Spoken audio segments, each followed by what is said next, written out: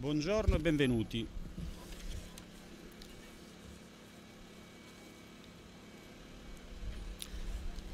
Uh, come il roll-up attesta, siamo qui per ricordare un momento particolare della vita e della storia giudiziaria di questo Paese. L'Unione delle Camere Penali, con la Camera Penale di Roma e con la Fondazione Internazionale per la Giustizia Enzo Tortora, hanno deciso di ricordare stamattina, il 17 giugno del 2023, esattamente a 40 anni dagli accadimenti, momento, uno dei momenti più bui della storia giudiziaria di questo Paese, che coincide e corrisponde con l'arresto di un galantuomo che era Enzo Tortora. Uh, ci sono tanti modi per affrontare il problema e, e per discutere di quello che è avvenuto e di quello che è successo in funzione di quell'arresto e di quella vicenda giudiziaria e molti di questi modi sono stati già, come dire, percorsi, sono stati già declinati nell'ambito in, in questi 40 anni. Ma c'è un modo che forse può dare ancora un senso a questo ricordo e che fa di questa giornata un momento particolarmente importante. Questa deve essere una giornata di testimonianza. Noi avremo, avremo interventori che analizzeranno le questioni sotto diversi punti di vista, con delle relazioni specifiche eh, dai diversi aspetti e dalle diverse prospettive che essi hanno vissuto. Io vorrei portare un piccolo contributo, se mi è consentito, che è un contributo mh, di carattere emozionale, che, che vuole essere la testimonianza di quello che accadde a me nel momento in cui la vicenda di Enzo Tortora si consumava o incominciava a consumarsi. Io ero un ragazzino di 13 anni, nell'83 quando Enzo Tortora veniva tratto in arresto proprio qui davanti, in un attimo con i ferri ai polsi si provava a togliergli la compitezza e l'eleganza che lo aveva caratterizzato nella sua vita fino a quel momento.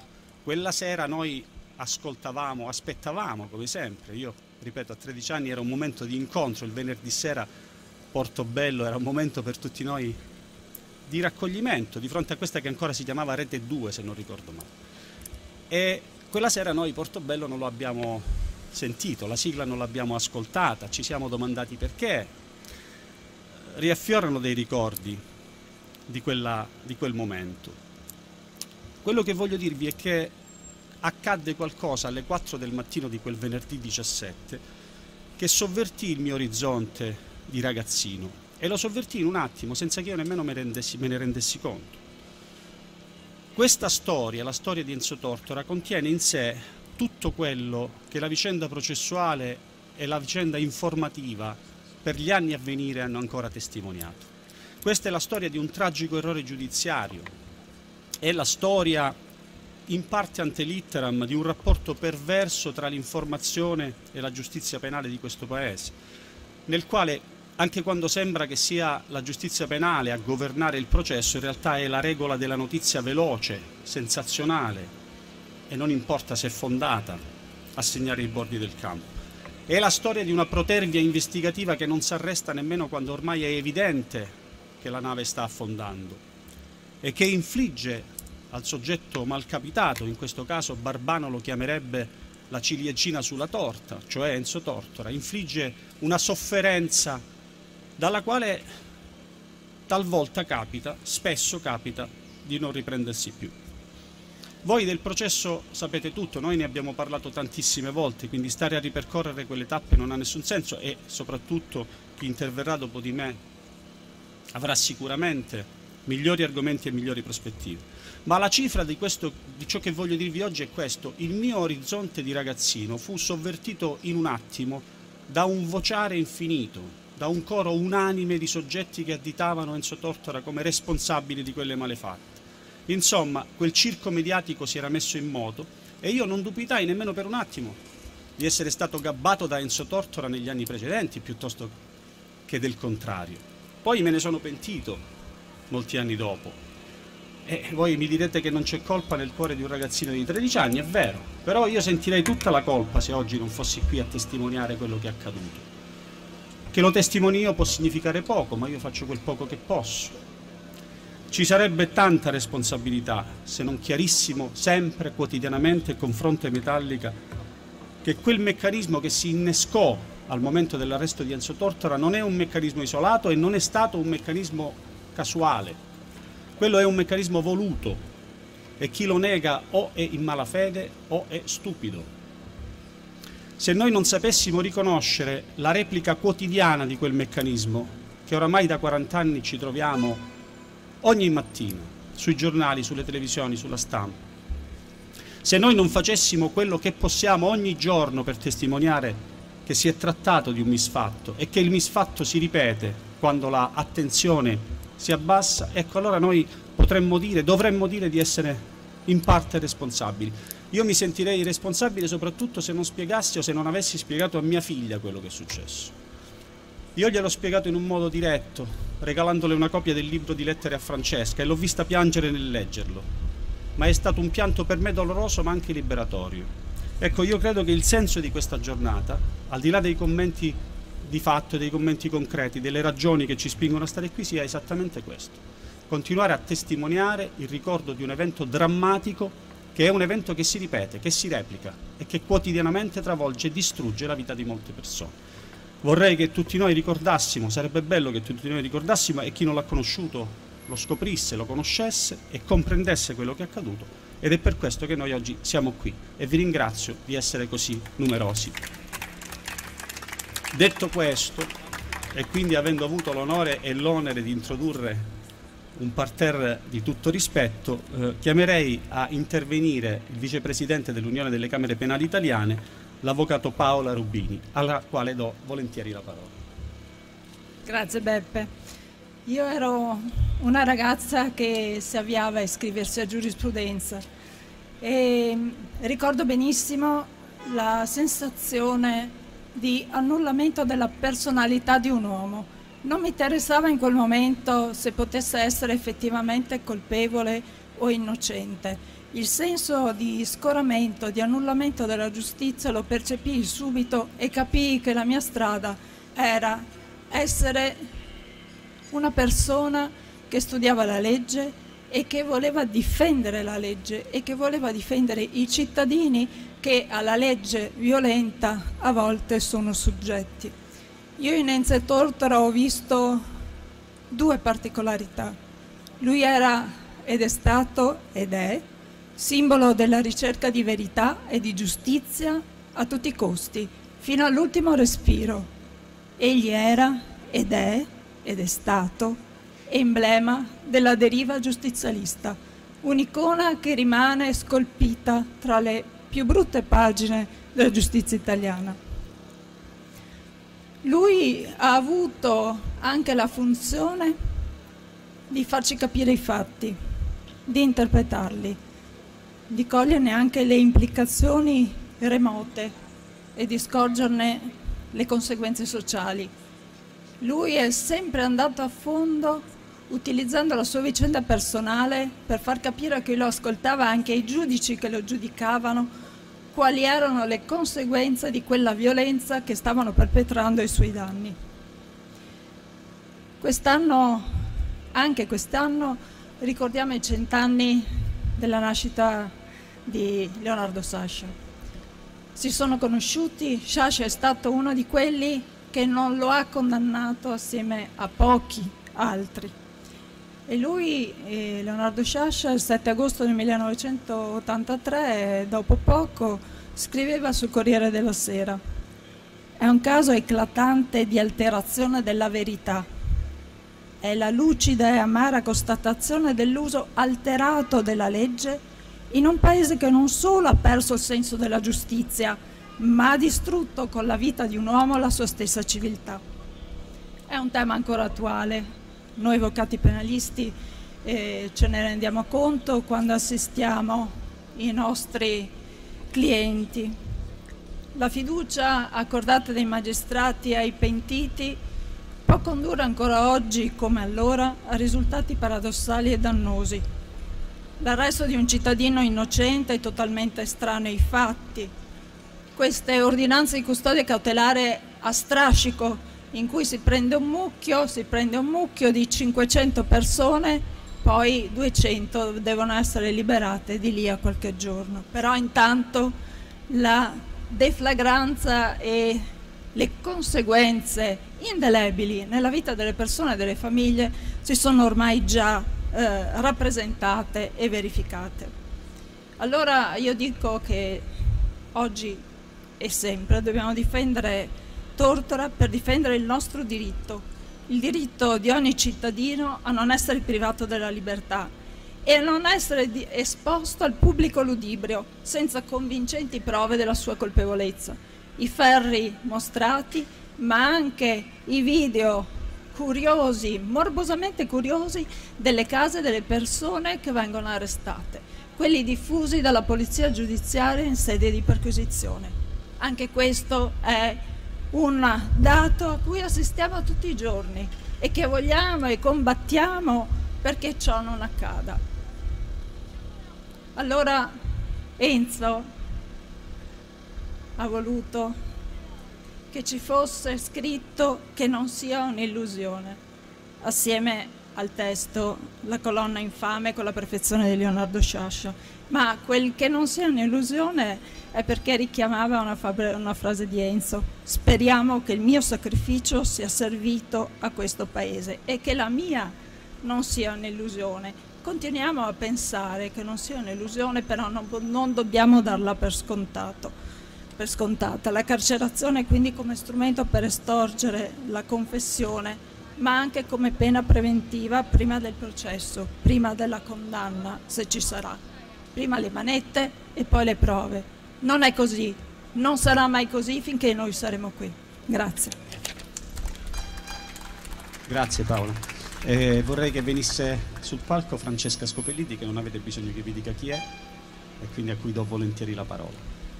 Grazie, grazie a tutti. Eh, dal 1988, mm, dopo la morte di Enzo, eh, avendo avuto da lui come dire, il testimone di questa battaglia per la giustizia giusta, ho avuto tanti incontri e ho detto tante cose che andavano dette. Oggi in questa data è importante perché sono 40 anni dall'arresto di Enzo, 40 anni che si sono persi nel nulla, che non, sono, che non hanno consigliato delle riforme, analizzato il caso Tortora, trovare qual era la causa e poi la terapia.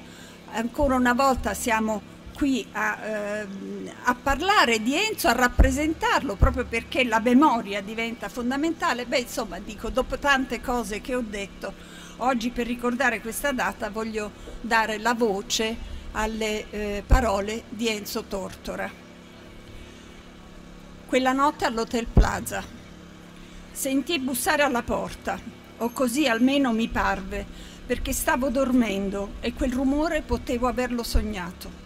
Ma i colpi, due o tre, brevi e leggeri, si ripeterono. Allora mi alzai, andai verso l'uscio al buio e chiesi chi è? Risposta, carabinieri, Rimasi un attimo interdetto, accesi la luce, sbirciai l'orologio che porto sempre al polso e vidi che segnava le quattro e un quarto. Aprì. I carabinieri erano tre o quattro, non ricordo. Entrarono di corsa e mi misero si misero immediatamente a rovistare la camera. Spalancarono l'armadio, aprirono una valigia, si impossessarono di un'agenda telefonica. Ma cosa fate? chieso perché state mettendo tutto sottosopra? Risposero solo che avevano avuto ordine di perquisire la mia stanza e di sequestrare tutto. Poi mi dissero di vestirmi, di prendere un po' di roba, avrei dovuto seguirli. Quel che stava succedendo in quella stanza dell'Hotel Plaza, un vecchio albergo nel centro di Roma che frequento da quasi vent'anni, mi sembrava così assurdo che non avevo neppure la forza di pensare. Scendemmo con l'ascensore nella hall deserta, l'attraversammo e avvicinandomi alla porta girevole dell'albergo notai che il portiere di notte, un uomo di una certa età e che mi conosceva da molto tempo, se ne stava dietro al banco della ricezione con la testa bassa. Quando gli passai davanti, l'alzò e disse: Mi dispiace.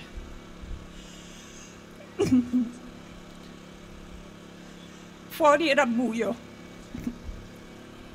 e non passava nessuno. Dinanzi all'albergo in via del Corso Sostava un'alfetta con il motore acceso. Sedetti sul sedile posteriore e due carabinieri presero posto al mio fianco e l'automobile partì verso Piazza Venezia. Non so descrivere come mi sentivo dentro mentre la macchina correva.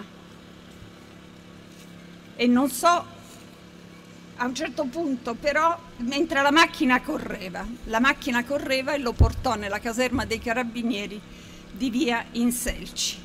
E ritroviamo Enzo sì, lì sempre con le sue parole. Non so quanto tempo rimasi lì immobile in attesa. A un certo punto chiesi, ma adesso dove mi porterete? In galera. Ma dove? A Regina Celi. E cosa aspettiamo? Non ebbi risposta, ma dopo un attimo capì cosa aspettavano. Aspettavano che arrivasse il pullman della televisione con gli operatori. Aspettavano che ci fosse un bel po' di gente, anzi tanta gente. E alla fine comparvero due carabinieri in divisa, con la camicia cachi e la bandoliera a tracolla. Mi mettete le manette? chiesi. Certo, rispose l'acciuga d'acciaio, era uno dei carabinieri più magri e tac tac mi sentii ammanettare. I due carabinieri mi portarono fuori e fuori cominciò la mia via Crucis.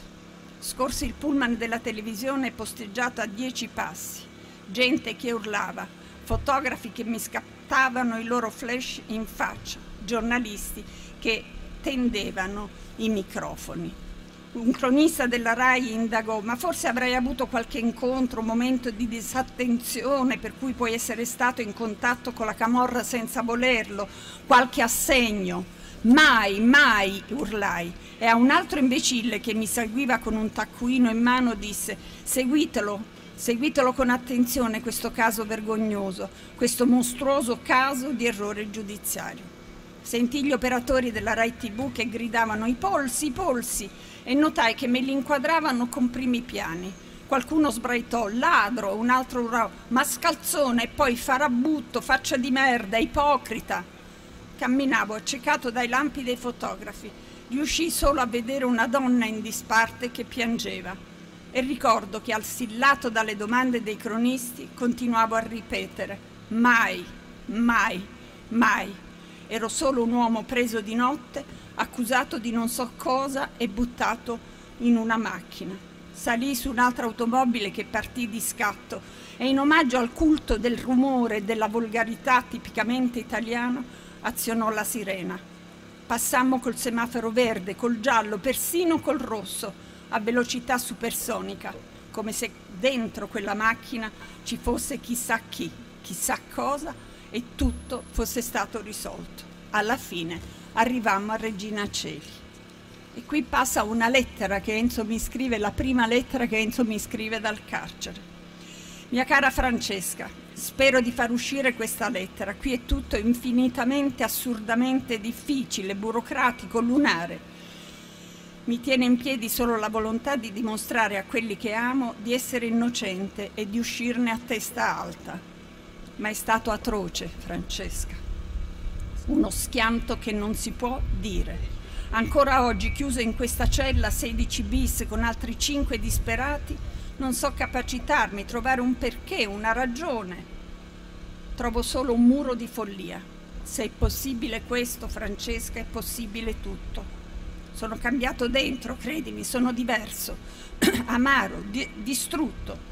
Se resisto, lo faccio per un orgoglio dimos- disperato e per dimostrare a tutte le persone che mi stimano e che mi hanno amato, a te, a tutti che non sono un gangster. Mi verrebbe da ridere se le manette non fossero vere e la cella autentica, se le notizie emesse sul serio. Non so se domani, giorno dell'interrogatorio, il tuo buon Dio o i miei dei o la rabbia lucida che mi divora mi daranno la forza di convincere i magistrati che hanno preso un abbaglio mostruoso che è tutta una montatura, ma di chi? E che questo è solo un incubo, un incubo terribile. Ma il male è fatto e il lavoro polverizzato. Sarà lungo, forse improbabile ricostruire la verità, perché io non voglio mezze misure, voglio battermi fino alla fine per uscire pulito.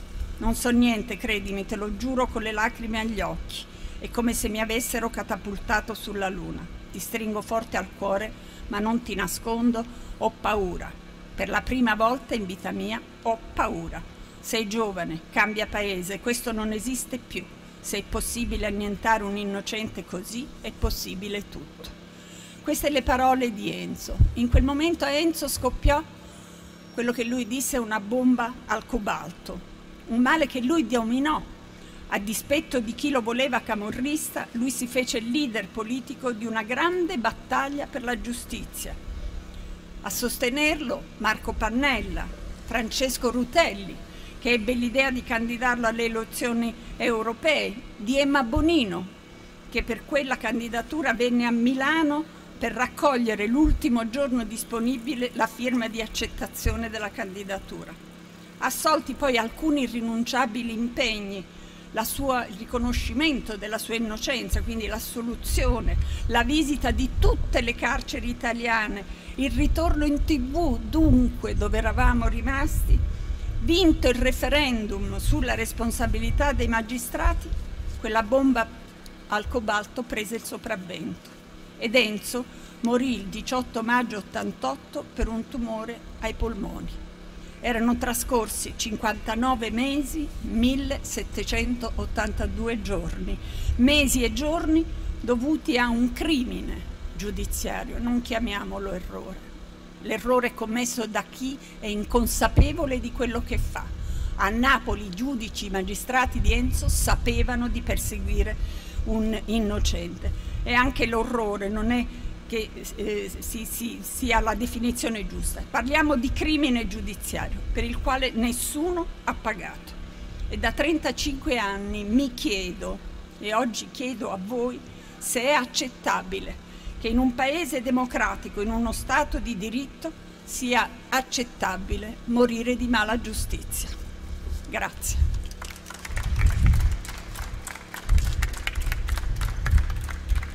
Grazie Francesca, e, e l'ho spaccato sull'aspetto umano, cioè quello che succede di fronte a una tragedia di queste dimensioni.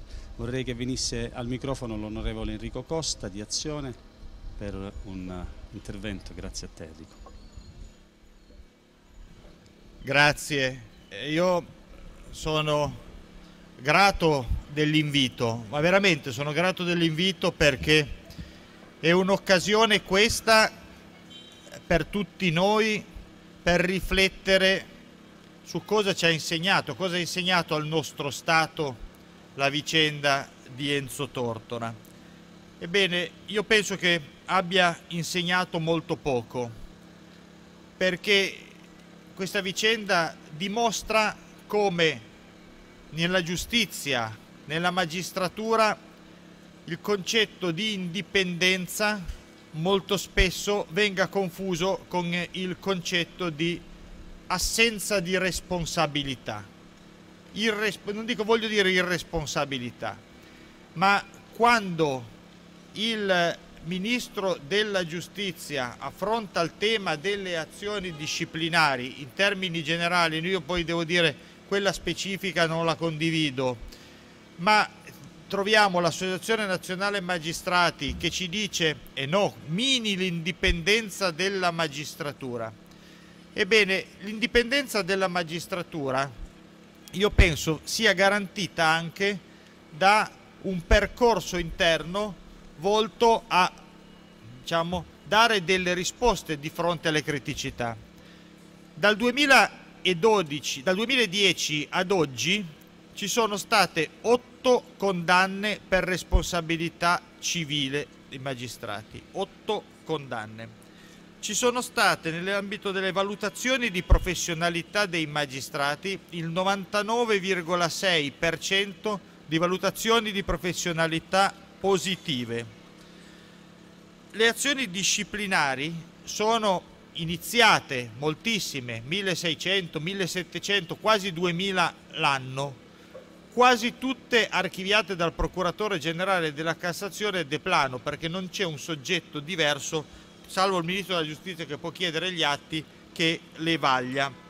Ecco, sui, sul tema delle ingiuste detenzioni, lo scorso anno il Ministro della Giustizia ha avviato una sola azione disciplinare, conclusasi con il non doversi procedere. È evidente che di fronte a tutti questi numeri diciamo, non c'è una risposta da parte dello Stato, una risposta seria, ovviamente non ci deve essere nulla di demagogico, ma questo io penso che debba essere un tema da mettere all'ordine del giorno in questa legislatura. E lo dico alla luce anche di una considerazione e di una lettera molto toccante che ha fatto Enzo Tortora e che ha mandato durante la, il suo periodo in carcere a mio papà. Erano molto amici, mio papà era un esponente del Partito Liberale. E gli scrisse, caro Raffaele, oggi so cose che mai avrei sospettato, ma ciò che più mi indigna, a parte la stregonesca, medievale iniquità del rito, è questa giustizia in ferie, come una rivendita di gelati, e questa spazzatura umana, tale è la considerazione del cittadino per certi giudici, spazzatura umana lasciata fermentare nei bidoni di ferro delle carceri, pieni di disperati, di non interrogati, di sventurati e di come me innocenti fate qualcosa, ve ne prego.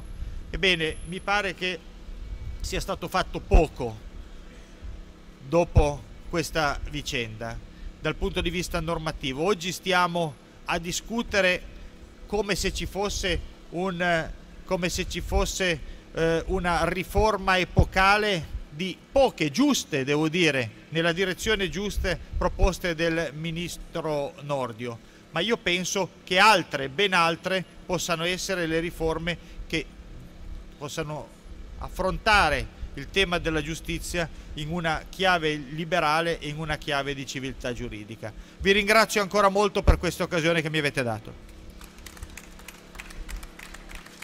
Grazie a te Enrico per il tuo contributo. È un piacere chiedere di intervenire al past president dell'Unione delle Camere Penali Italiane, l'avvocato Beniamino Migliucci. Grazie Beniamino.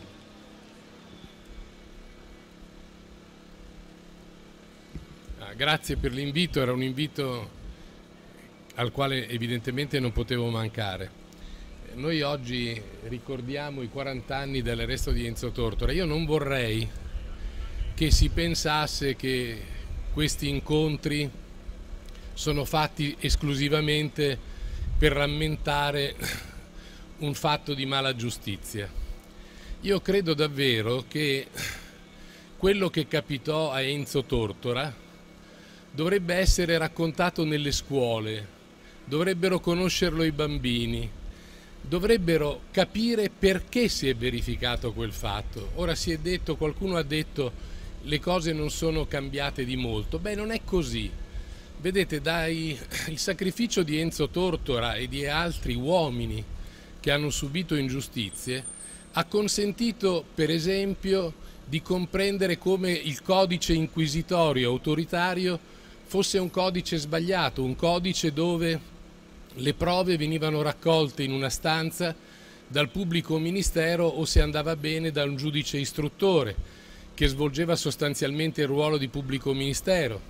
È cambiata la Costituzione, l'articolo 111 della Costituzione, che prevede che le prove debbano essere raccolte davanti a un giudice imparziale e che dovrebbe essere anche terzo e dunque separato nella carriera, con la parità delle parti. Vedete che il sacrificio di Enzo Tortora, che non avrebbe dovuto esserci, ha portato a una riflessione, una riflessione che è stata per lungo tempo contrastata. Ancora adesso c'è chi invoca il carcere prima di una sentenza definitiva di condanna. Eh, ancora adesso si ritiene che eh, il carcere sia la soluzione dei problemi. Vedete, eh, in quella storia, nella storia di Enzo Tortora, c'è un po' di tutto.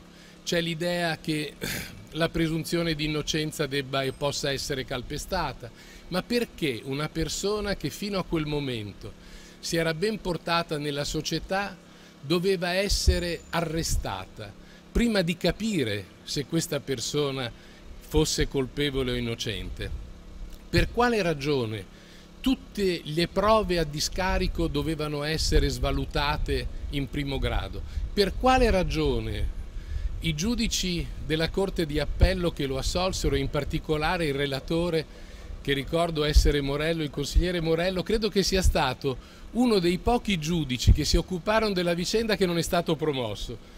Tutti gli altri, eh, grazie al loro errore, sono stati promossi, hanno occupato cariche fenomenali e questo ci porta al di là della responsabilità eh, civile dei magistrati, ci porta a chiedere ma perché chi sbaglia fa carriera e non c'è mai un intervento serio per capire ad esempio anche nel disciplinare eh, che eh, non tutti sono bravi. Prima Enrico Costa ricordava che nelle valutazioni il 96%, il 98% dei magistrati sono bravi. Beh, probabilmente c'è qualcosa che non va, probabilmente bisognerebbe anche che nei consigli giudiziari gli avvocati potessero esprimere il loro parere su quello che è la, eh, la capacità del singolo magistrato. Eh, qualche anno fa, se non sbaglio, Francesca nel 2015, eh, convincemmo Francesca a pubblicare le lettere che Enzo le inviava dal carcere.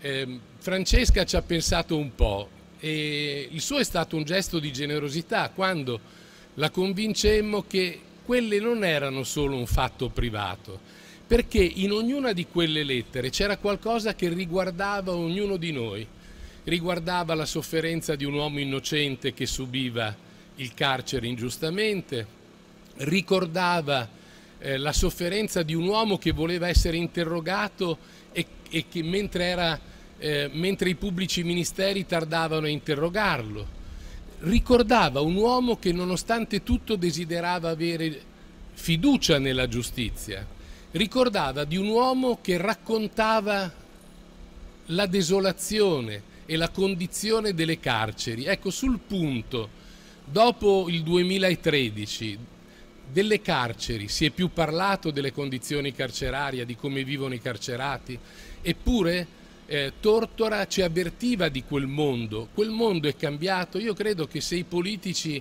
facessero una visitina nelle carceri italiane, in quasi tutte le carceri italiane, si renderebbero conto che i detenuti vivono in una condizione insopportabile. Eppure questo adesso non eh, pare interessare a nessuno, eppure Enzo Tortora lo ricordava e ricordava anche come quei detenuti gli conferissero la gran parte della forza e del calore umano che gli serviva per andare avanti. Il che cosa significa? Significa che in ogni uomo, anche in quello che ha sbagliato, c'è la possibilità di cambiare, c'è la possibilità di dare conforto umano, c'è la possibilità di essere risocializzato. Ecco, Enzo Tortora in quelle lettere ci ha ricordato di come sia sbagliato eh, ghettizzare chi ha sbagliato una volta nella vita, ci ha ricordato quali siano stati gli errori e io credo che ricordare nelle scuole raccontare quello che è stato, raccontare quanto è sbagliato un codice inquisitorio autoritario, raccontare quanto è giusto ed è corretto che il processo si svolga davvero nella parità delle parti davanti a un giudice che deve essere distante da chi accusa e chi difende, sia un servizio, un servizio per evitare che errori, errori nella vita ci saranno sempre, ma gli uomini hanno il dovere di fare in modo che gli errori siano sempre di meno. Grazie ancora per l'invito. Grazie Beniamino, grazie davvero. Eh, chiamo sulla, al microfono Alessandro Barbano, giornalista, già direttore del Mattino, autore di un volume eh, nel quale ho trovato qualche elemento di collegamento con quello di cui discutiamo oggi che è l'inganno. A te la parola, grazie Alessandro. Grazie, buongiorno. Eh, io voglio partire da quello che ha detto Francesca, anche perché secondo me la memoria di Tortora è preziosa ed è prezioso declinarla nella maniera più opportuna rispetto alle battaglie che Tortora fece in vita e che oggi siamo chiamati noi a sostenere anche in solitudine, anche in minoranza il primo errore che noi dobbiamo evitare di commettere, e lo ha detto Francesca, è quello di considerare eh, la vicenda di Enzo Tortora un errore giudiziario. e anche di raccontarla come tale nelle scuole ai ragazzi, eh, perché vedete eh, l'errore, eh, dell'errore qualcuno paga e invece qui nessuno ha pagato. L'errore ha una dimensione quantitativa, non voglio dire infinitesimale, ma minima rispetto alla norma, è una deroga della norma, dell'eccezionalità della norma. Ecco, un'azione penale che oggi nel mezzogiorno d'Italia, in alcune regioni, arresta 100 persone e ne condanna 70, eh, scusate, ne condanna 30, 20, 10, può considerarsi ancora un errore? Eh, io non credo che si possa considerare un errore tutto questo e non si può considerare neanche un crimine.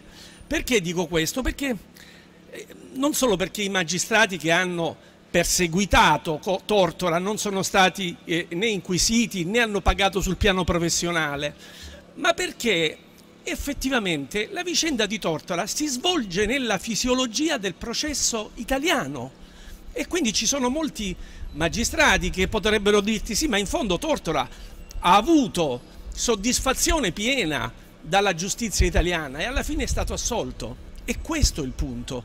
Cioè la vicenda di Tortora è il paradigma della fisiologia del processo italiano, non solo per lunghezza, ma anche per esiti.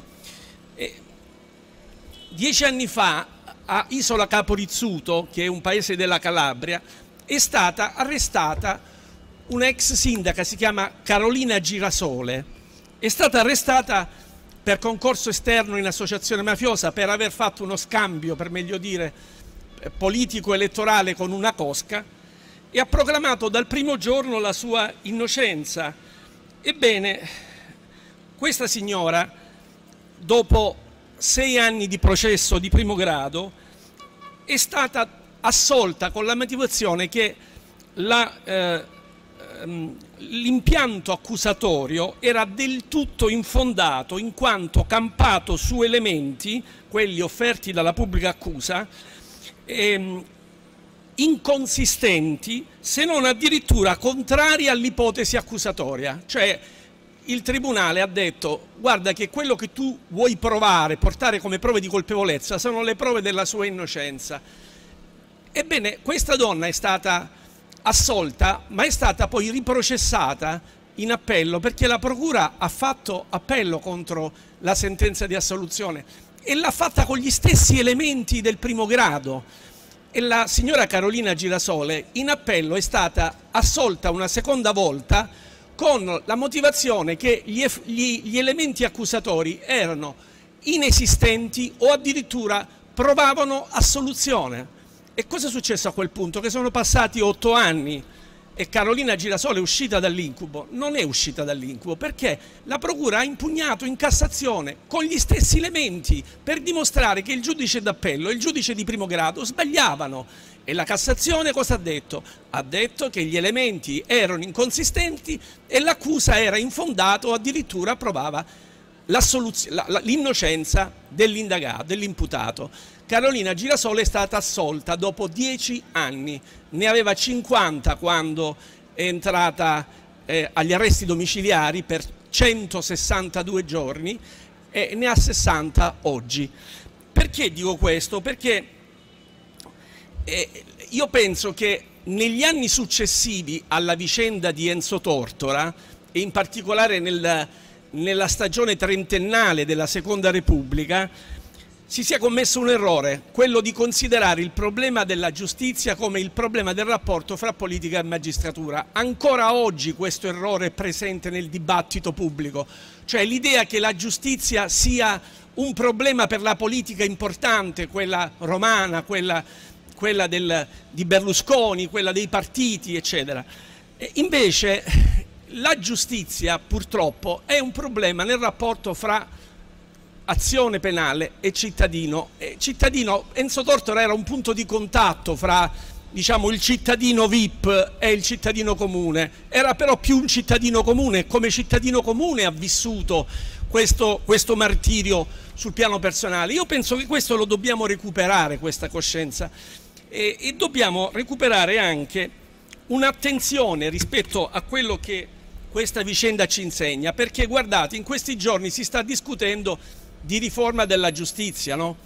alcune delle misure eh, eh, che sono state proposte dal governo per, ehm, diciamo, per giungere a una giustizia più garantista, più rispettosa dei diritti degli indagati, eh, sono, sono delle misure che riguardano solo alcuni. Mi spiego meglio.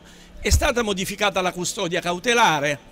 L'adozione della custodia cautelare, come sapete, prevede un interrogatorio e poi prevede che eh, preventivo e poi prevede che sia un collegio di tre giudici a stabilire se l'indagato debba o non debba andare in galera. E però c'è un problema, tutto questo si applica solo per i reati meno gravi, per i reati più gravi non si applica, resta il vecchio regime.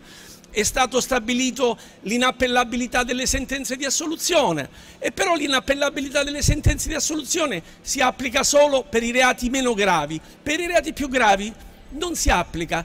E Enzo Tortora, con le modifiche del governo Rordio, sarebbe stato preso ugualmente alle 3 del mattino da casa e portato in carcere, forse non con le manette ai polsi, ma era accusato di associazione a delinquere di stampo mafioso, un reato per il quale non ci sono diciamo, le garanzie previste per gli altri reati. E allora perché dico questo? Perché guardate che la giustizia nel mezzogiorno è la giustizia dell'antimafia, non è un'altra giustizia. E quindi la protezione dell'innocente, del cittadino meridionale, forse è meno importante o ha meno dignità della protezione dell'innocente del cittadino qualunque? Io penso di no. E allora si sta affermando in, questo, in questa stagione eh, giuridica e civile del Paese eh, un, il doppio binario ha infiltrato anche il binario buono, ha infiltrato anche il diritto con le garanzie, perché c'è una giustizia per alcuni reati e una giustizia per altri reati. Non è solo il procedimento di prevenzione che de determina un doppio binario, ma c'è un doppio binario dentro il procedimento ordinario. E allora se noi su questo non eh, cerchiamo di fare una battaglia radicale co sui codici, sui codici di procedura e sui codici, sul codice penale, e noi possiamo eh, fare tutte le, le, le, le, manifestazioni che vogliamo perché il CSM sia eh, composto in maniera non correntizia, perché eh, le porte girevoli siano chiuse, ma non cambieremo la giustizia perché Nordio, questo l'ha detto il primo giorno, salvo poi ancora purtroppo non adempiere a quell'impegno. La riforma della giustizia parte dai codici e questo secondo me è un impegno che l'esperienza tragica di Enzo Tortora consegna a noi. Grazie. Grazie Alessandro, eh, una testimonianza accorata come sempre. Eh, do la parola al professor Vincenzo Zeno Zenkovic che di questa storia eh, eh conosce più di altri avendola vissuta in un ganglio particolarmente delicato, quando eh, il professore insieme con l'avvocato Cagliazza provarono a far valere le ragioni del, dell'imputato, del, dell'ingiustamente processato Enzo Tortora, eh, poi magari ci dirà lui come andò a finire. Grazie professore. Eh, grazie, un particolare abbraccio a Francesca Scopelliti. Assieme a Gian Domenico Cagliazza, giovanissimi avvocati, cercammo di attivare il meccanismo della responsabilità eh, civile del giudice.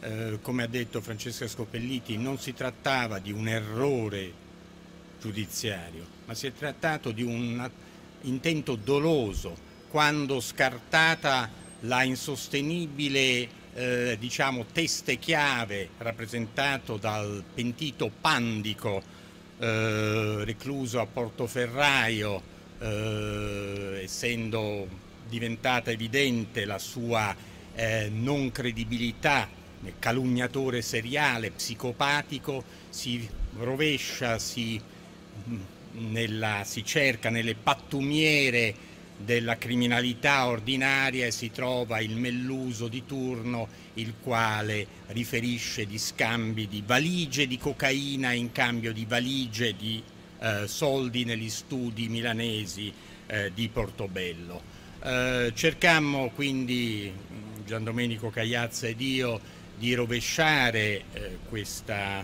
eh, questa, situazione, di ehm, ottenere giustizia non soltanto penale ma anche giustizia civile dal eh, Tribunale. Eh, l'unico risultato fu che Gian Domenico Cagliazza ed io eh, fummo denunciati per calunnia dai magistrati che avevamo ehm, convenuto in giudizio, naturalmente lo fecero quando Enzo Tortora era morto, aspettarono che fosse morto per poi denunciarci per calunnia e in qualche modo sabotare il giudizio nei loro confronti. E naturalmente dal, il giudizio civile fu segnato eh, da una serie di scicanerie infinite passando ovviamente da una salvifica, salvifica per i magistrati sentenza della Corte Costituzionale. Però il ruolo di Gian Domenico Cagliazza mio è obiettivamente marginale. Vorrei ricordare chi ha lottato professionalmente come avvocato, credo che vada ricordato lo straordinario impegno di Alberto Dall'Ora, eh, di Raffaele della Valle che seguirono tutta la fase del primo grado, l'appello, la Cassazione quotidianamente con un impegno assolutamente straordinario dimostrando come l'avvocato debba operare e debba eh, lavorare per dimostrare quello ai giudici, a giudici ehm, eh, faziosi, eh, basta pensare alla conduzione del giudizio di primo grado da parte del Presidente Sansone e cercare di dimostrare la verità. Però al tempo stesso è necessario ricordare, ricordare, è stato appena fatto, la figura del consigliere eh, Michele Morello, l'estensore della sentenza d'appello e qui mi pare necessario per dimostrare che non si è trattato di un errore giudiziario, ma quello che Francesca Scopelliti chiama un crimine giudiziario, quando nelle ultime pagine, nella penultima pagina della sentenza, di questa lunga sentenza, di 502 pagine di sentenza, Michele Morello cosa scrive? Solo Solo quelli fin qui esposti sono i motivi per i quali Tortora va assolto con formula piena da tutte le imputazioni contestabili. Ulteriori argomenti, che pure emergono scorrendo l'abbondante materiale processuale, o sono irrilevanti o restano assorbiti da quelli trattati. Una sola osservazione ancora. Esercitare pressioni su questa Corte è lusso che possono permettersi solo gli stolti, ma dalla parte di Tortola, la Corte non si è imbattuta in siffatte persone. È la preterizione. Di chi sta parlando? Di chi sta parlando se non della magistratura napoletana, dei, ehm, eh, del, dei giudici, dell'entourage giudiziario napoletano che hanno fatto pressioni sul giudice d'appello perché confermasse quella vergognosa sentenza di primo grado, cinico mercante di morte. Allora, eh, sono passati 40 anni, eh, certamente c'è molto da fare, però occorre sempre ricordare che qua ci sono due problemi. Da un lato il, eh, quelli che in tribuna plaudono a questo tipo di giustizia, in Parlamento, che sostengono a spada tratta questo tipo di giustizia ingiusta. E dall'altra parte non è che non si può ricordare, uno, il motivo di questo crimine giudiziario è dovuto a un semplice fatto che la Corte Costituzionale, che evidentemente totalmente con totale oblio di Cesare Beccaria, che forse qualche cosa l'aveva scritta, avendo equiparato il procuratori della Repubblica, la magistratura inquirente. E avendo protetto la magistratura inquirente come se fosse quella giudicante, mentre in tutto il mondo civile, da Beccaria in poi, è altra cosa, è chiaro che ha fornito una patente di impunità, non di immunità, di impunità per questi crimini giudiziari che poi lo ha ricordato Barbano, l'hanno ricordato altri, si proseguono ogni giorno e non c'è qualcuno il quale chieda a soggetti che sono, hanno tanto di nome e cognome dicendo ma scusami ma tu di queste 100 persone che hai, 100, 1000 persone che hai messo in galera, quante effettivamente sono state eh, condannate? Uno, due? E la, la porta dovrebbe essere quella. Se un medico avesse un tasso di mortalità come ce l'hanno certi pubblici ministeri, forse la giustizia civile interverrebbe anche quella penale. Quindi o c'è da cambiare la legge, ma soprattutto ci sono da cambiare gli uomini. Grazie.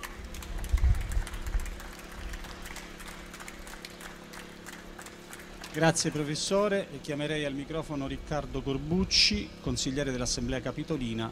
Grazie consigliere.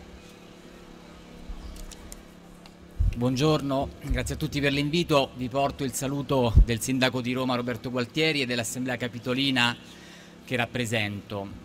40 mm, anni fa io avevo 5 anni, sono stato figlio di un avvocato penalista di Roma e quando a 18 anni ho fatto il mio primo voto che ha anche diciamo, avviato un po' la mia passione per la politica, il mio, voto, il mio primo voto è stato per i radicali di Marco Pannella, proprio perché in quegli anni erano anni in cui la giustizia era un tema fondamentale, gli anni delle stragi, e quindi chiaramente erano gli anni in cui la coscienza politica di un giovane si faceva sul decidere da quale parte stare e sul decidere se la politica potesse cambiare diciamo, quello che non andava in termini anche di giustizia.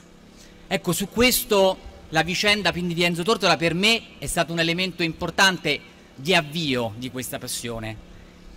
Per me che ho scelto sociologia, la comunicazione di massa come indirizzo di studio e di lavoro e l'ho ritrovato in tutti questi anni in cui ho fatto politica. Oggi sono orgoglioso di rappresentare il Comune di Roma qui su questo tema perché credo che noi dobbiamo avere ben chiaro cosa possa accadere in una democrazia, che è il momento più elevato di un sistema politico, ma proprio perché la democrazia ci consente diciamo, di essere liberi, quando in una democrazia vengono meno principi come il garantismo, la presunzione di innocenza, io parlo della deontologia giornalistica, il giusto processo, la responsabilità dei magistrati di verificare con meticolosa attenzione i fatti raccontati dalle fonti, siano fatti raccontati da pentiti o da semplici testimoni, ecco, in una democrazia quando viene meno il diritto diciamo, di essere prima di tutto garantisti le, con le persone diciamo, che ovviamente sono oggetto di processi e si antepone il pur importantissimo diritto di raccontare un fatto, ecco, si deve tenere presente che non si può ledere la dignità di una persona, calpestarne i suoi diritti costituzionali, addirittura in alcuni casi influenzare l'andamento delle indagini o manipolare l'opinione pubblica, tutte cose che sono accadute nel caso di Enzo Tortora e sono accadute in altri casi in Italia. Io credo che le istituzioni e il sistema dell'informazione, l'ho sentito dire negli interventi prima di me, non sono soggetti asettici, ma sono, vengono incarnati da donne e da uomini e siccome l'errore è connaturato diciamo, alla condizione umana è impossibile immaginare di poterlo evitare, saremmo diciamo, in errore per primi a pensarlo, non lo possiamo eliminare l'errore. Però quello che può fare lo Stato, quello che possono fare le istituzioni, quello che può fare la politica e quello che hanno l'obbligo di fare è di normare e limitare con le leggi le conseguenze di quel possibile errore che è sempre presente in un sistema.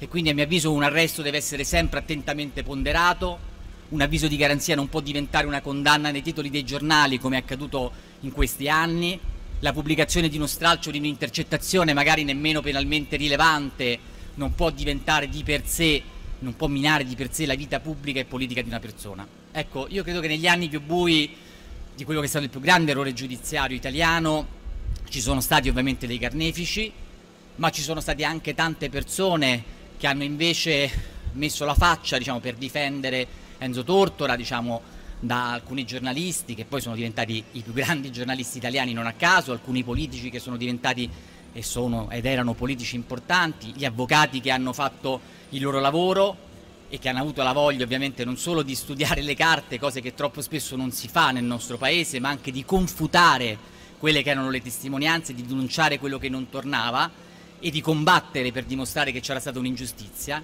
Io credo che a 40 anni di distanza però ci sono stati e ci sono ancora errori giudiziari più o meno gravi, violazioni degli diritti degli imputati, disprezzo diciamo, di quelle che sono le normali eh, diciamo, deontologie giornalistiche. Oggi abbiamo tantissimi codici del giornalismo, però spesso oggi questi codici vengono comunque violati e quindi c'è ancora molta molta strada da fare per avere nel nostro paese quella che è una giustizia che noi diciamo una giustizia giusta, però che cos'è una giustizia giusta? Io credo che una giustizia giusta sia la capacità, come dicevo, di limitare le conseguenze della mala giustizia che in questi anni hanno minato, io credo, anche la credibilità nelle istituzioni del nostro paese, la giustizia è uno dei poteri fondamentali del nostro paese e credo che per farlo sia arrivato finalmente il tempo per la politica tutta insieme di riformare la giustizia per renderci un paese più equo dove casi come quello di Enzo Tortora non debbono più esserci. Grazie.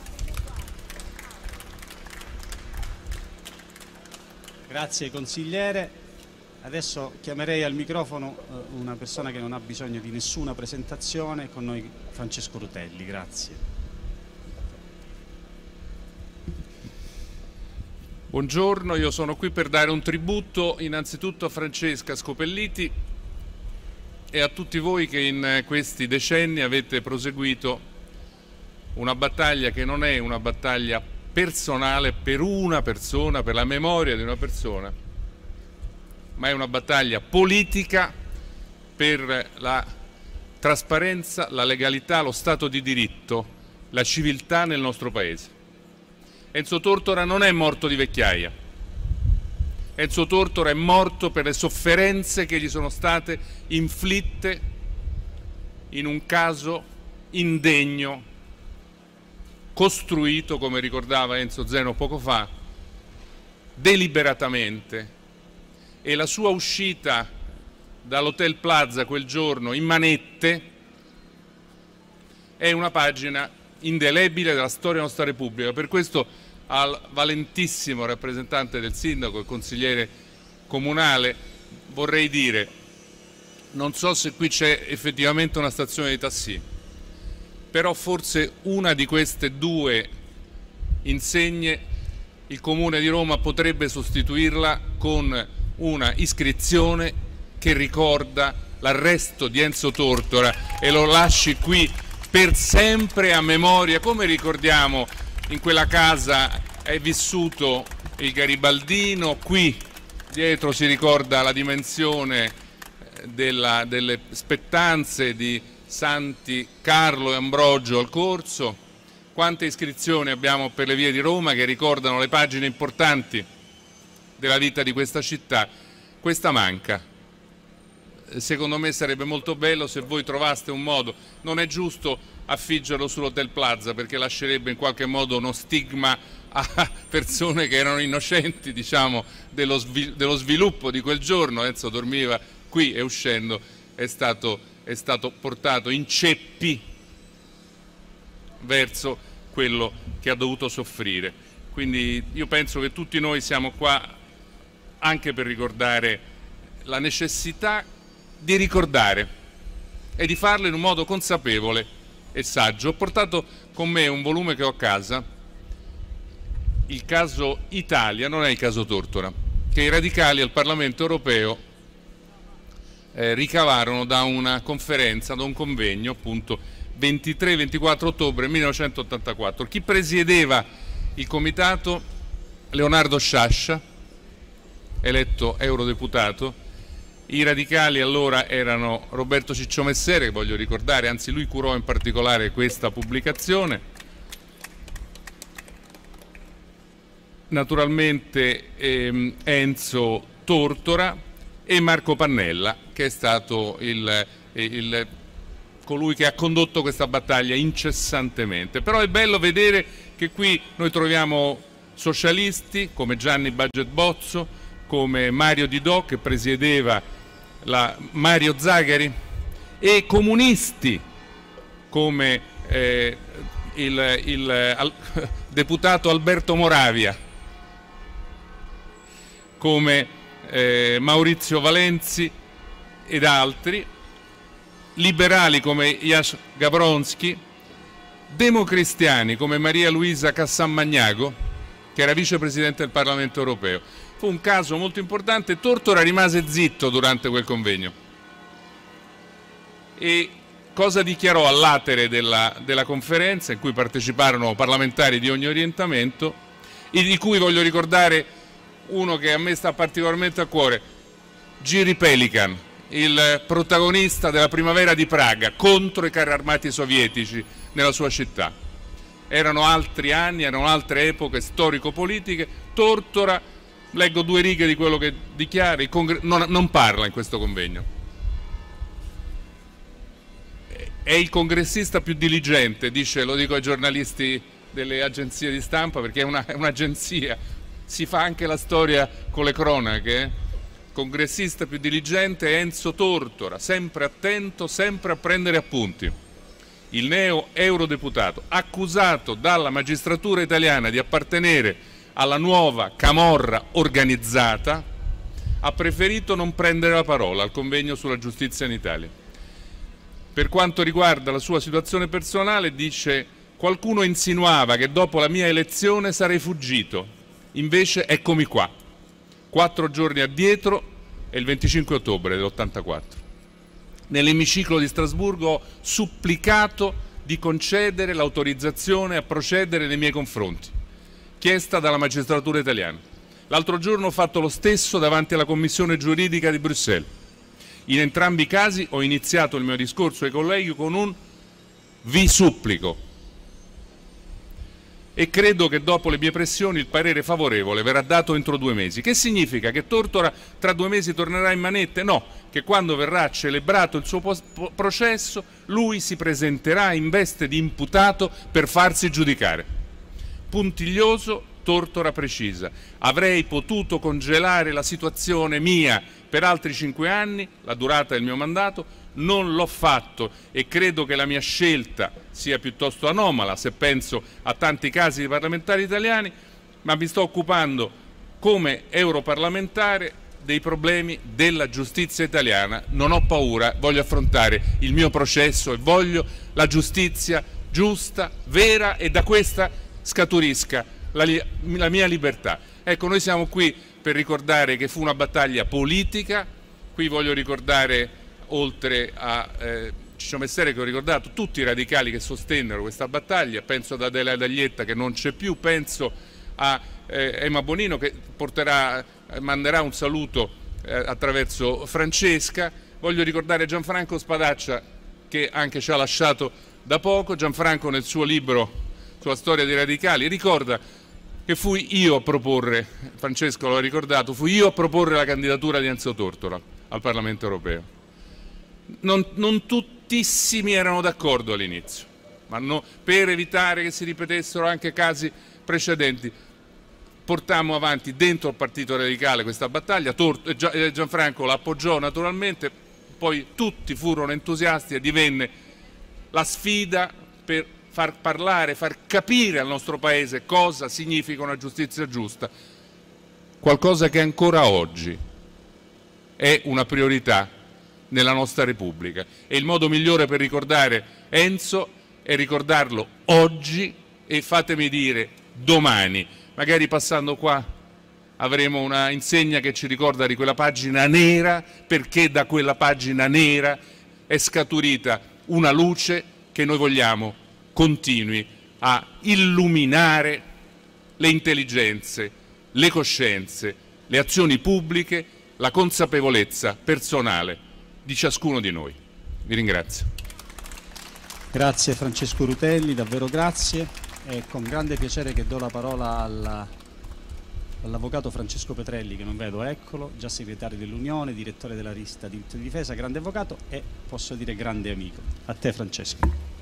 Grazie, grazie a tutti dell'invito.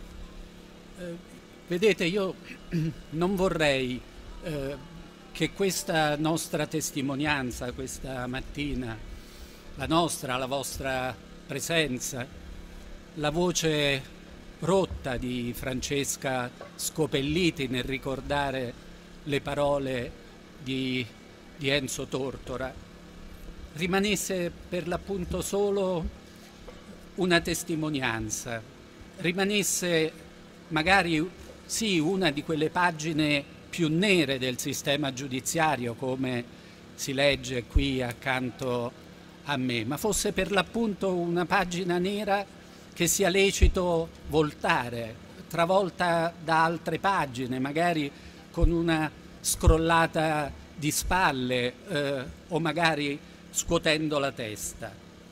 Certo, il caso Tortora è rimasto inciso nella memoria di questo, di questo paese, non solo come il più eclatante e drammatico errore giudiziario, ma anche come un emblematico esempio della degenerazione del nostro sistema giudiziario, quell'intreccio tra le storture del nostro vecchio codice inquisitorio che si coniugarono terribilmente con il fenomeno ancora non regolato del cosiddetto pentitismo. E non è certo un caso se nel 1983, nell'agosto di quell'anno, si poté leggere sulle pagine della Repubblica una dichiarazione, una lettera aperta a firma di Piero Angela, Giorgio Bocca, Umberto Veronesi, Italo Calvino e molti altri intellettuali. E in quella lettera si leggeva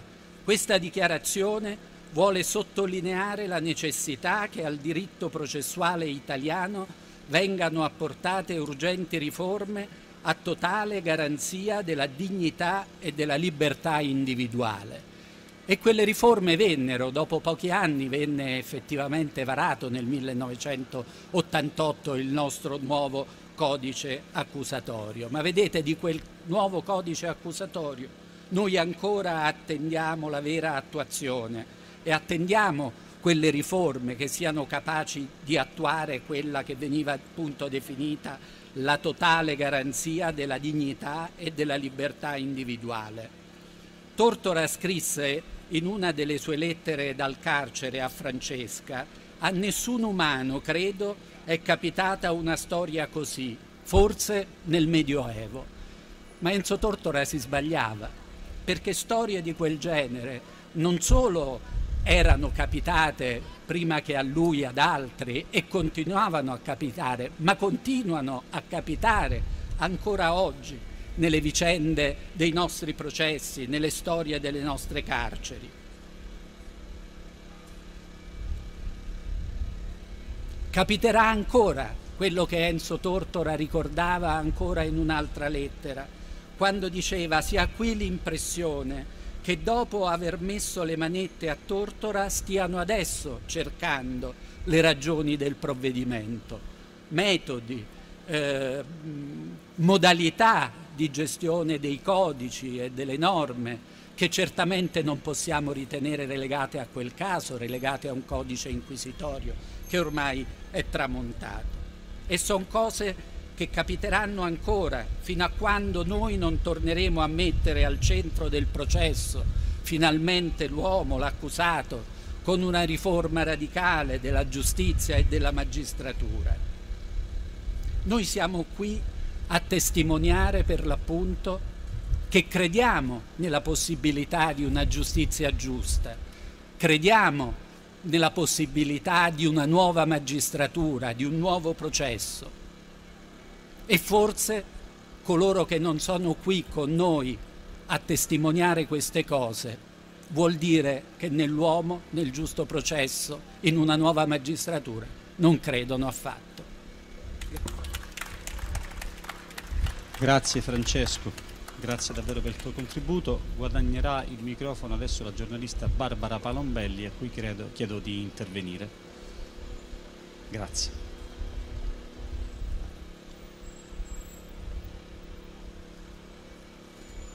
Allora, ci sono due livelli di racconto nel caso di Enzo Tortora.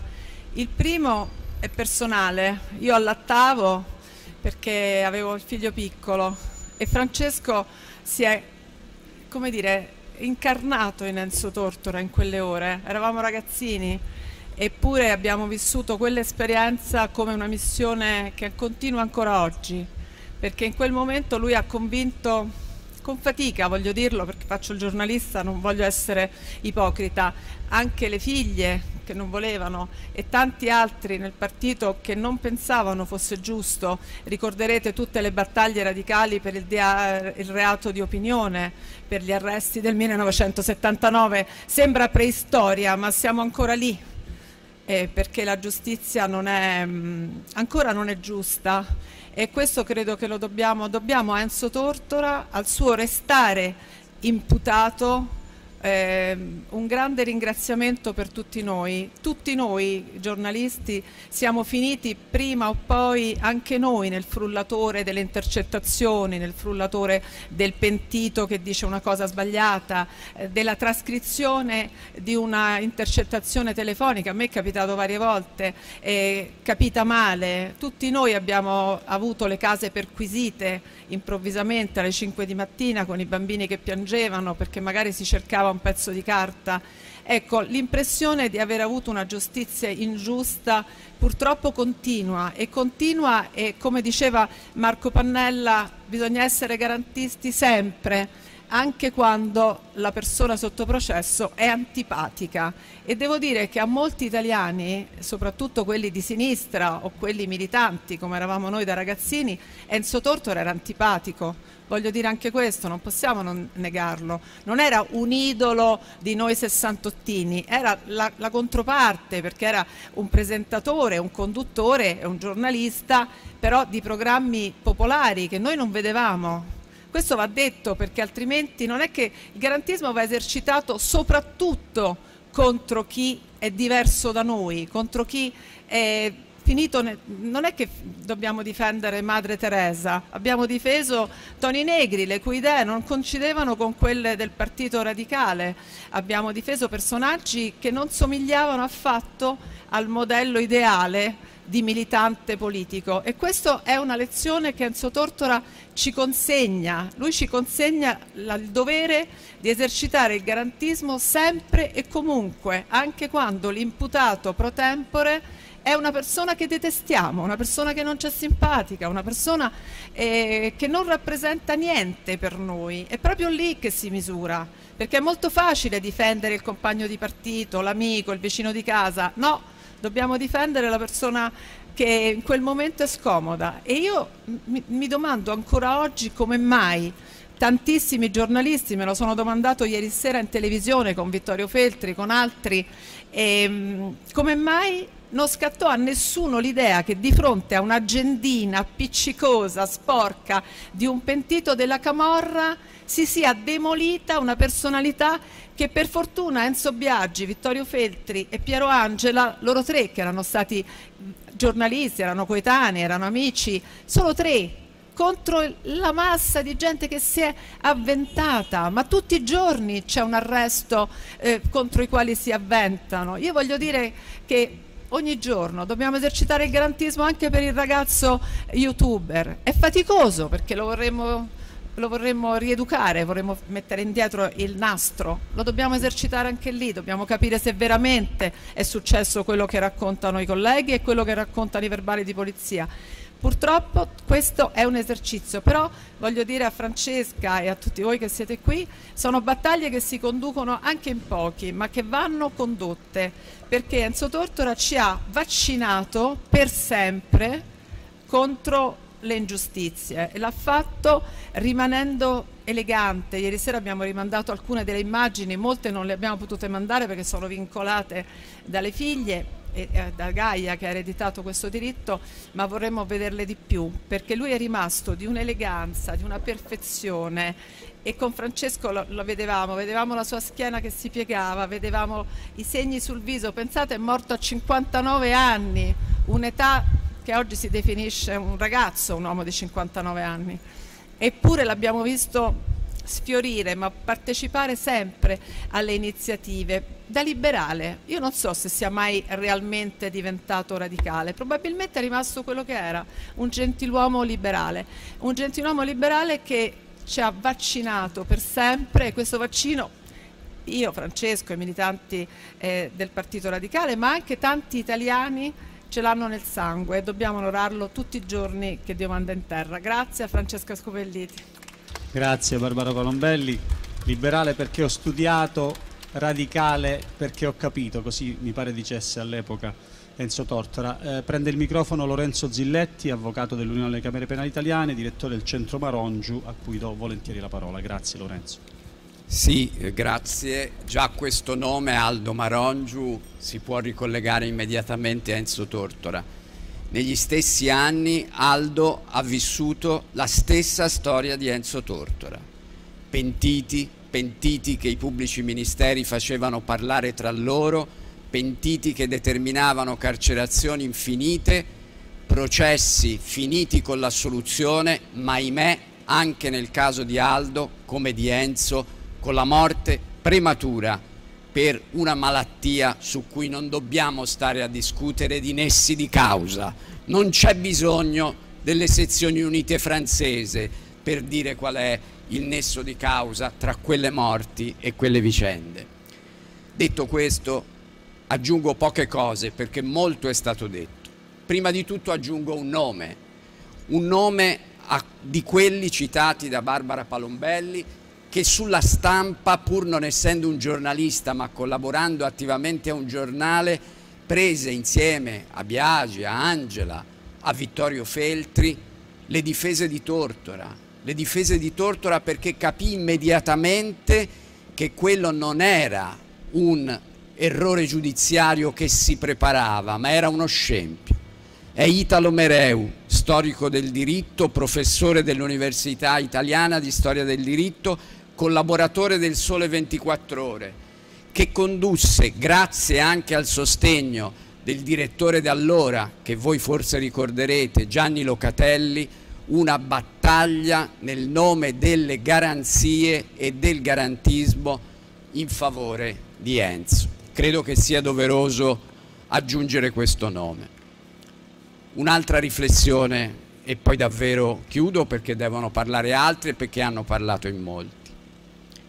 40 anni, è vero, sono cambiate le norme, alcune diciamo hanno ottenuto il nostro pieno gradimento, altre non ci soddisfano, mi permetto di dire che ancora l'attuale sistema di responsabilità civile è un sistema deficitario, quindi anche la riscrittura della legge Vassalli approvata dopo il referendum effetto della vicenda di Enzo non basta, è insufficiente la strumentazione che regola il procedimento disciplinare nei riguardi dei magistrati. Però in questi 40 anni in cui le norme sono cambiate, qualcos'altro purtroppo non è cambiata. Ed è la mentalità, la mentalità di quella italietta che non sa, che non si interroga, che non vuole sapere, come scriveva Enzo dal carcere a Francesca, sottolineando il volgare disinteresse di cui la maggior parte di questo Paese si disinteressa dei processi, di quello che avviene nelle carceri, di come viene amministrata la giustizia. In questi 40 anni è mancato alla stampa, è mancato alla magistratura di fare davvero i conti fino in fondo con questo caso. Ancora oggi siamo a discutere, ad accapigliarci su quanto vogliamo pubblicare nella fase delle indagini degli atti di inchieste che poi magari sono destinati a finire con l'assoluzione. Vergogna vuol dire che continuate a pensare che fare i velinari delle procure della Repubblica sia in linea con quello che è successo 40 anni fa ad Enzo. E la magistratura, la magistratura non ha fatto i conti. Non vedo qui lo ha detto bene Francesco Petrelli, accanto a noi tanti magistrati, e invece dovrebbero riflettere su quella vicenda, dovrebbero pensare fino in fondo su quella vicenda, dovrebbero interrogarsi non solo, permettetemi, sul perché qualcuno di loro ha fatto carriera raggiungendo vertici negli uffici giudiziari, ma si dovrebbero interrogare sul perché un corpo elettorale rappresentato dall'intera magistratura elesse addirittura al Consiglio Superiore della Magistratura i PM che avevano gestito quell'inchiesta, li hanno eletti al CSM, vuol dire che li hanno scelti come loro rappresentanti. Io vorrei sentire una parola di autocritica dopo 40 anni su eh, questo punto. Li hanno portati, e chiudo, a quello che Enzo chiamava l'attico del potere giudiziario. Noi nell'attico del potere giudiziario vorremmo vedere davvero una magistratura diversa, una magistratura come quella che auspicava Francesco Petrelli, che sia davvero accanto a noi nel difendere la Costituzione, il giusto processo, le garanzie. Un saluto e un abbraccio a Francesca Scopelliti. Grazie Lorenzo, temo che non avremo autocritica così come non abbiamo avuto scuse se non fuori tempo massimo. Um, avrebbe dovuto essere con noi Emma Bonino che per un in piccolo intoppo personale non ci ha potuto eh, onorare della sua presenza fisica ma ha mandato uno scritto che Francesca Scopelliti adesso vi leggerà. Grazie. Dice Emma Bonino. Provate a mettervi nei panni di un uomo innocente che nel cuore della notte viene arrestato e trasformato pubblicamente in un mostro. Provate a immaginare la solitudine, la rabbia, la frustrazione, il senso di smarrimento per i propri cari, per i colleghi, per gli amici. I più giovani non ricordano l'arresto del 17 giugno 1983 di Enzo Tortora, di quel celebre conduttore televisivo che da uomo per bene divenne camorrista per un errore, anche se la parola è impropria, giudiziario. Ricordo una frase di Camilla Cederna che all'epoca mi diede molto fastidio se qualcuno viene arrestato alle tre del mattino, qualcosa l'avrà pur fatta. Dopo mesi di galera, di sofferenza e dopo una battaglia politica con i radicali, con Marco Pannella e tutti gli altri, Tortora ebbe il riconoscimento della sua innocenza. Ma l'atteggiamento colpevolista e giustizialista che lo colpì e che ancora oggi ha grande diffusione dimostra che siamo molto lontani da una concezione di giustizia giusta. Bisogna ricordare sempre che ciascuno è innocente fino a quando non ne viene data colpevolezza con sentenza definitiva e l'errore giudiziario ai danni di Tortora dimostra come l'approccio colpevolista non porti da nessuna parte. Dopo 40 anni siamo ancora qui a spiegare che senza una giustizia davvero giusta non c'è libertà. Emma Bonino. Grazie Francesca e grazie ad Emma che salutiamo da qui con un applauso augurandole una pronta ripresa. E interviene adesso il consigliere dell'Ordine degli Avvocati di Roma, l'Avvocato Vincenzo Comi, già Presidente della Camera Penale di Roma.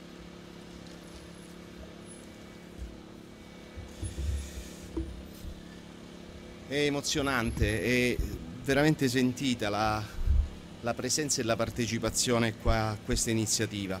Oggi come allora gli errori giudiziari proseguono senza sosta. La storia sembra non aver insegnato nulla, ma la testimonianza e il ricordo di tutti noi è sicuramente un presidio di quella cultura garantista della quale ci dobbiamo fare portatori senza se e senza ma è un dovere, un nostro dovere ed è un impegno assolutamente doveroso.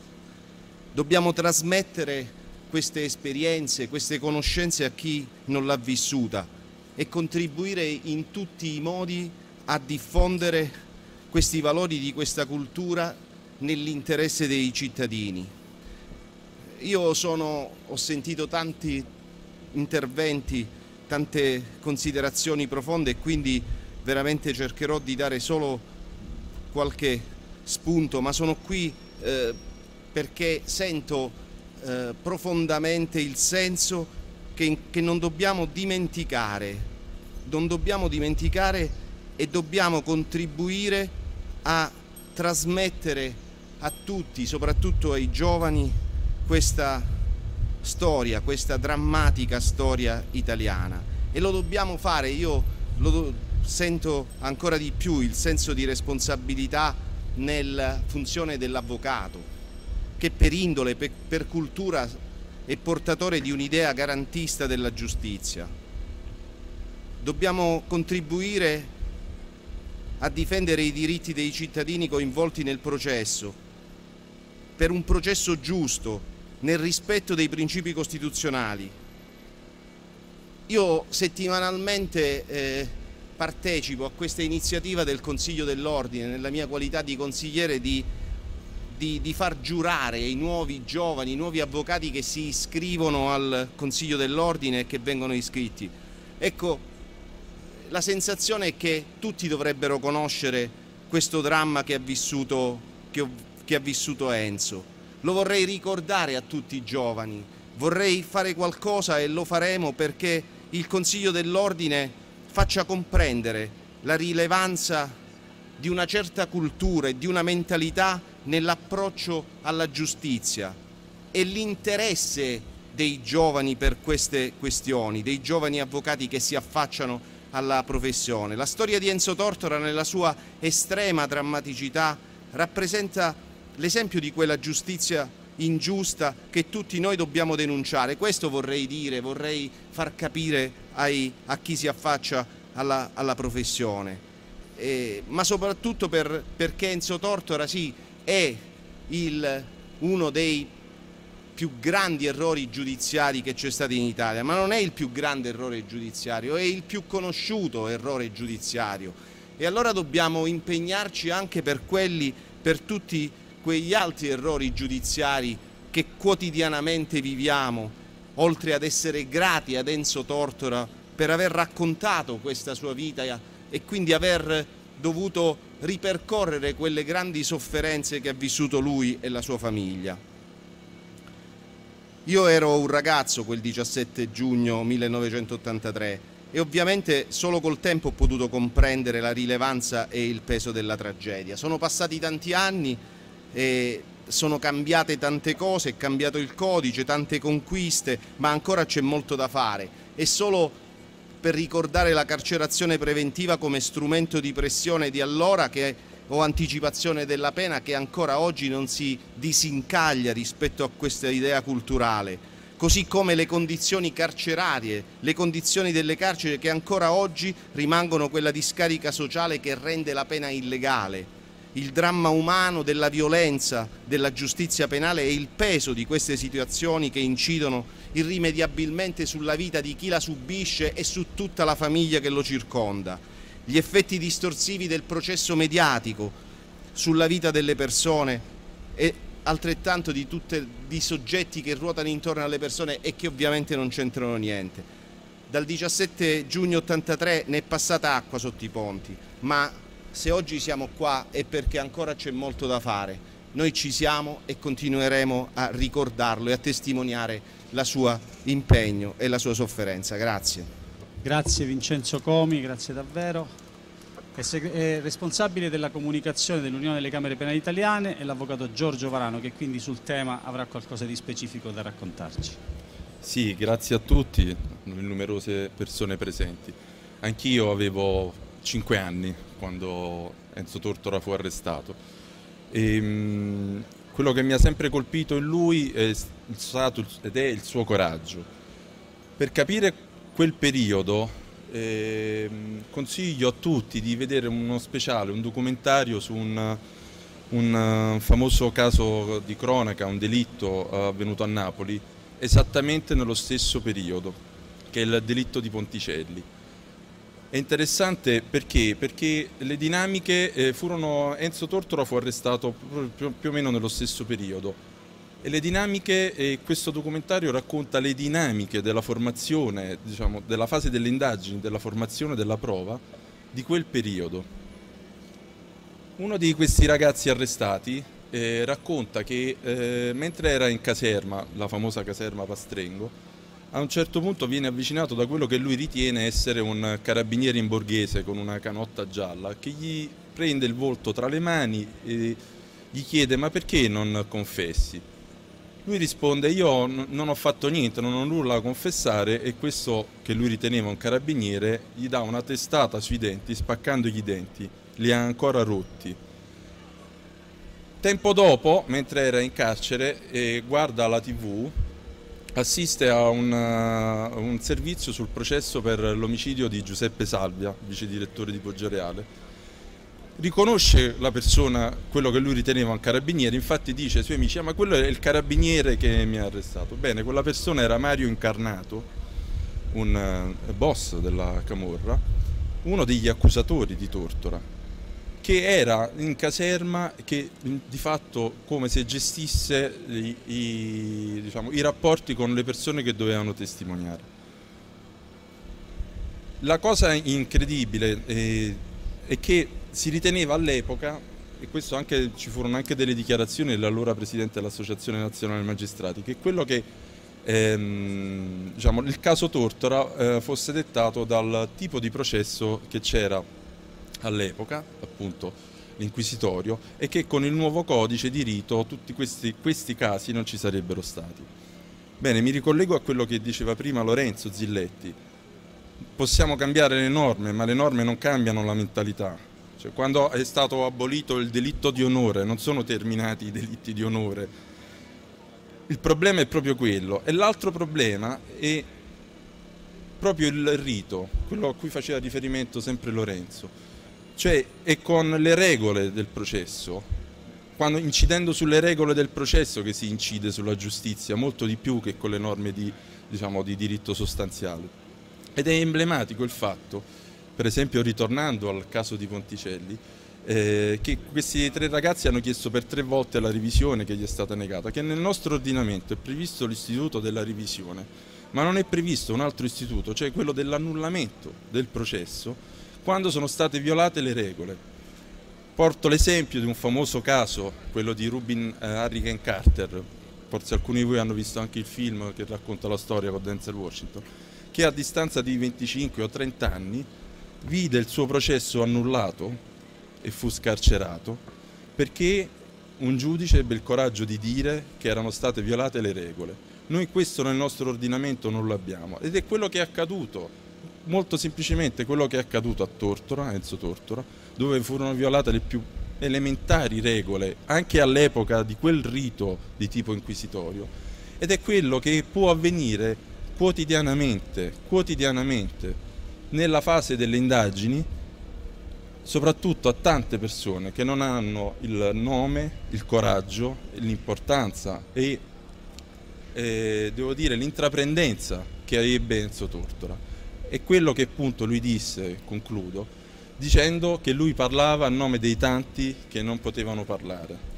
E mi piace ricordare per concludere proprio il coraggio di Enzo Tortora perché lui fu a parlare, terminato la sua terribile vicenda, fu lui a parlare di questi tre ragazzi del delitto di Ponticelli di cui si interessò, ragazzi che, erano stati che sono stati condannati all'ergastolo, hanno fatto 27 anni di carcere prima di uscire, anche perché all'epoca l'ergastolo era ergastolo, non c'era possibilità di uscire poi successivamente.